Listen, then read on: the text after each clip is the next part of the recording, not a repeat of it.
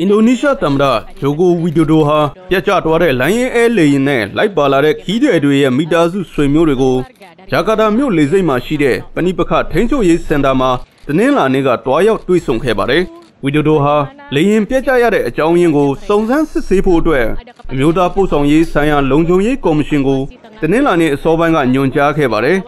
ဝီဒိုဒိုဟာမိသားစုဝင်ဆွေမျိုးတွေရဲ့စိုးရင်ပူပန်မှုတွေကို ကိုချင်းစာမိပြီးလေရင်ပြတ်ကျသွားတဲ့နေရာမှာကယ်ဆယ်ရေးအဖွဲ့တွေစ조사ပန်းစားရှာဖွေရေးဆောင်ရွက်နေစဉ်မှာတည်တည်ငြိမ်ငြိမ်ရှိဖို့အတွက်ညှို့လင့်တယ်လို့အစည်းအဝေးတက်ရောက်နေတဲ့ဘာလီကျွန်းမှာပြောကြားခဲ့ပါတယ်။ကယ်ဆယ်ရေးအဖွဲ့တွေဟာခီးတယ်တွေကိုရှာဖွေဖို့အတွက်အကောင်းဆုံးဆောင်ရွက်နေပြီးအင်ဒိုနီးရှားပြည်သူတွေကိုဆူတောင်းပေးဖို့ဝီဒိုဒိုကပြောကြားခဲ့ပါတယ်။လေရင်ဟာ ခီးတယ်189ဦးတင်ဆောင်လာပြီးတနင်္လာနေ့ကလေဆိပ်ကနေထွက်ခွာပြန်တန်းပြီးခဏအကြာမှာပြတ်ကျခဲ့တာလည်းဖြစ်ပါတယ်။ပြတ်ကျသွားတဲ့လေရင်မောင်းနေတဲ့လေရင်မှုတူဟာအိန္ဒိယနိုင်ငံသားဖြစ်တယ်လို့လည်းဂျာကာမြို့မှာရှိတဲ့အိန္ဒိယတန်ယုံတာဝန်ရှိသူတူကပြောကြားခဲ့ပါတယ်။အင်ဒိုနီးရှားမှာပြတ်ကျသွားတဲ့လိုင်းရင်အဲလေရင်ကိုမောင်းနေခဲ့တဲ့အိန္ဒိယနိုင်ငံသားလေရင်မှုရဲ့နာမည်ဟာဘာဘီဆူနီဂျာဖြစ်တယ်လို့အတည်ပြုခဲ့ပြီးလေရင်မှုရဲ့မိဘတွေဟာလည်းဂျာကာတာမြို့ကိုလာရောက်ခဲ့ပါတယ်။ လေရင်ပြတ်ကျတဲ့သတင်းကြားသိပြီးနောက်မှာနယူးဒေလီမြို့မှာရှိတဲ့နေအိမ်ကို